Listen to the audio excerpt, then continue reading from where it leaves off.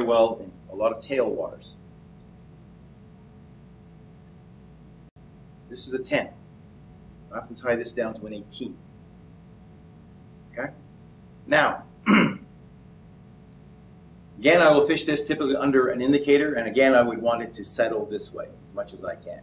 So how do I do that? Well, there are all kinds of ways of doing it, but the easiest way I have found is to use, I'll use some nice bright wire here so you can see it. This is a 28 gauge enamel coated copper wire in some kind of red.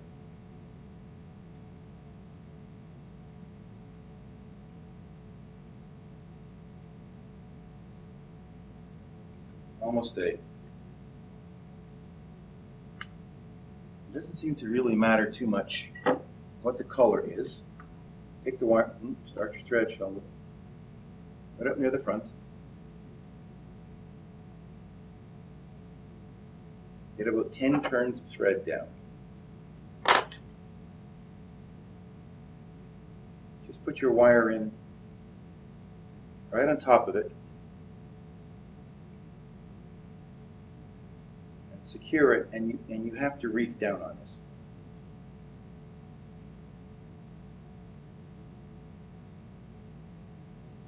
You want to have two or even three layers of thread on this to hold this thing in place. Don't be afraid to put some thread on.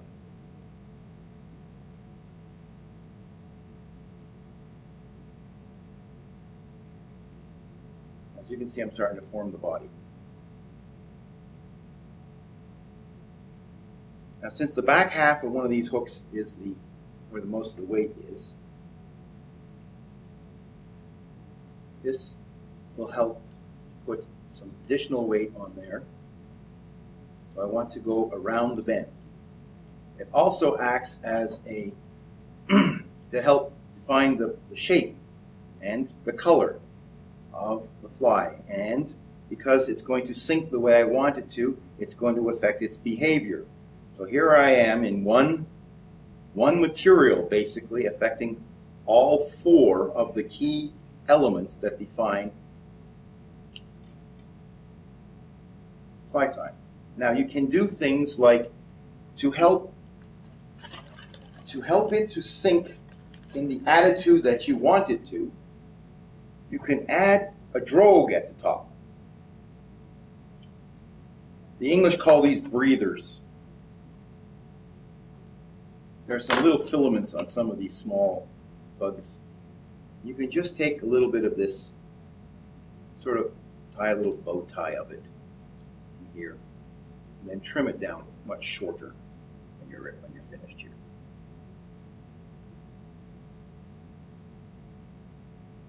Okay? Just put that like that. And then finally, take some dark dubbing. Something fuzzy, something with a little flash in it maybe, it doesn't really matter. You just need a very little bit. Device that will hold the hook.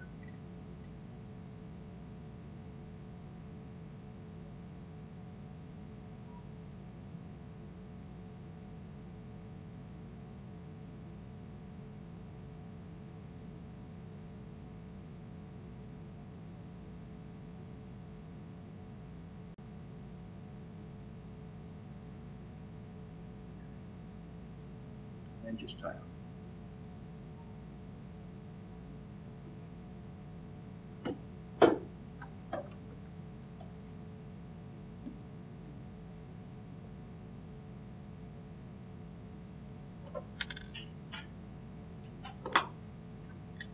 Get them the same length. Just hold them up together. Just trim them a little bow tie like that. See? So what that will do is as it's falling in the water, it'll add drag, helping to keep the front end up and the back end down. So this, the whole idea of this pattern is that it drops through the water like this. And it's imitating uh, you know, a lot of uh, midge larvae and pupa, well, pupa largely, and they have a way of migrating up and down in the um, in the water column until they're ready to emerge. And as they're falling, the fish will just come in and pick them off. So the idea here is, is try and imitate that nice, gentle fall as it sinks down slowly into, you don't want to over, you put a bead on here now, and it'll sink this way, which doesn't look at all the way the insect looks in the water. insect looks like this. As you cast in and watch, you want to watch your leader because this will not have tightened up yet. All of a sudden, uh, I don't know if um, often, not often, but occasionally when I am fishing with one of these, the indicator will suddenly take off. It won't go under, it won't shake, it won't just take off. And what happens is, as this is sinking, the fish will grab it and literally swim away with it, and all of a sudden your indicator, because you still got slack line in your uh, between the indicator and your fly, and so it just take all of a sudden the thing will just take right off, and uh, that's when you know you have the right pattern. You can tie this in um, all kinds of colors. I mean, I tie it in in, in, uh, red, black, red and black. I will tie it in yellow, yellow and black, yellow and red, yellow and green, eh, whatever color combination uh, you come up with. Just, just get, you know, the, um, I meant to bring a box of, I have a, a few of them. I had a box that I put aside. The UTC super wire, are you familiar with it? You know, they, it's got, comes in like 24 or 30 colors. Uh, medium is usually the best size for the bulk of what you're going to do. It's about a, it's about a 28 gauge.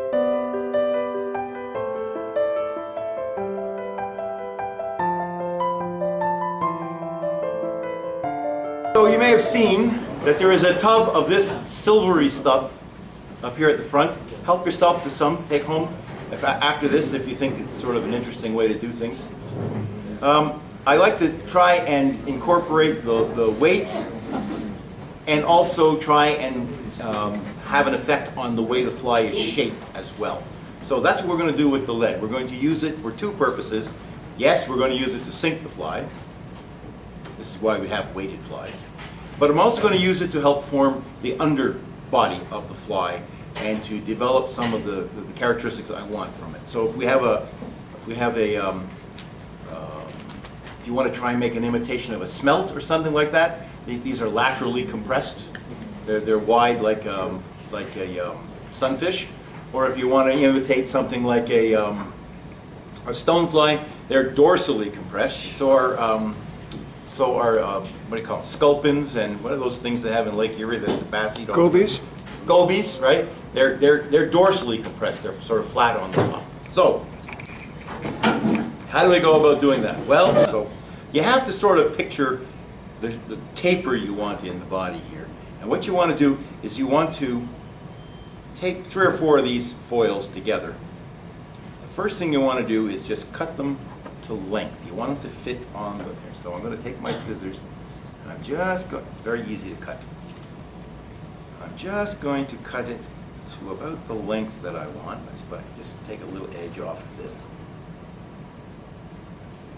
All right, so that's about the width I want. Okay, now, what is the taper I want? Well, I want a more gradual taper to the rear and a steeper taper to the front. So to, to accomplish that, I'm now going to taper the material here a little bit. I'm just going to take a little edge off here. And on this side, I'm going to take a lot more of it off. Like that. Okay, so that's the, that's the part in the front.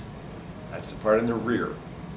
Now what I want to do is I want to put little handles on. Just bear with me. put little handles on this. Just little cuts in it.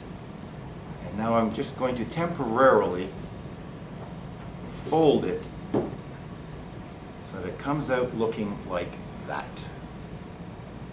Can you see that there? Yes. Okay. Okay? So I'm going to position my thread at the front here because I find that easier for me to do. I'm going to take, I'm going to mold this onto the hook. And then I'm going to take and wrap this part here at the front, you see? That just secures it there. And then big leap to the back. And I'm going to secure it there. Don't worry about it starting to roll a little bit because you're going to roll it anyway. Okay? Get your thread back here out of the way a little bit. So now what I'm going to do, so you can see it here, is I stand it back up there. You get the idea? Now watch. This is where the magic begins.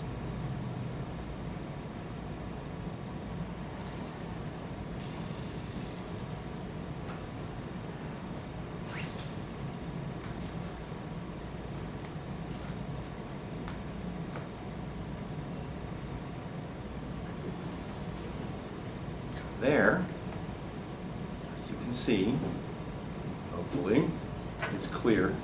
I have a taper in the rear, long and narrow, long and tapering, and then I have a sharper one at the front. I'm going to take my thread, and I'm just going to go over it all like this. And I'm going to build up a little bit of a ramp here, come back over it, and secure it. Now that's not going anywhere, right? That's on there to stay. Now, you think that's weighted? That's pretty weighted, let me tell you. But here's what you I got one of these in the middle of my back one night. I had to undress to get there. Anyway. So, TMI. yeah, yeah, yeah. Well, I turned around looking for the guy who threw the rock at me and realized I didn't know where my fly was, and it was right between my shoulder blades. It was a long night. Now, if you want this to be a nymph, say like a great big stonefly nymph, you want to squish it, that's right, but what do you squish it with? You can't use pliers, because pliers are usually serrated. They're, they're usually got ridges and whatnot. If you have a smooth, a smooth jawed pair, you can use them. But again, since I like to minimize the amount of tools I'm using, I use my scissors because right in here is a nice smooth jawed pair of pliers. And all you have to do is cross over like this and squeeze.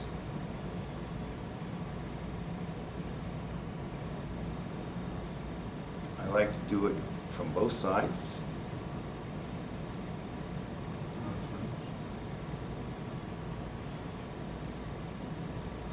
Sheldon, where did uh, you salvage the foil from? Is that from a wine bottle? Nope. If that was from wine bottles, man, my liver is done. But yes, you could, you can use the wire, the, the, the the foil from a good bottle of wine. It works very well. It's even a little thicker than this, and therefore you don't have to, but there, as you can see now, look at the, look at the nice taper you have built on that. Now, when you, when you take um, a material, um, let me see, um, anyway. So you can take some um, yarn, um, Phentex, anything like that, or you can, you can dub it, you can wrap it with wool, whatever you want to do, it really doesn't matter. But let me just give you an idea of the effect here. I'll just lash this in and uh, build out the body for you so you can get what's an idea. Come up to the front here, and then with this, with, with yarn, you should just twist it. Just twist it as you go. And if you twist it really well, it'll actually come up in segments. And if you're going to do, that'll give you an idea of how it looks when you wrap it with something like that. You get the idea? Isn't that cool? And uh, the pri- well, the price in my case that cost me several thousands of dollars. um,